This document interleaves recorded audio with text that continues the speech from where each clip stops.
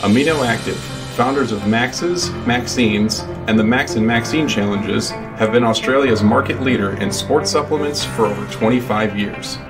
However, true to their cause, they wanted to go bigger, enhancing their advertising, increasing their traffic, and ultimately, cutting down their costs.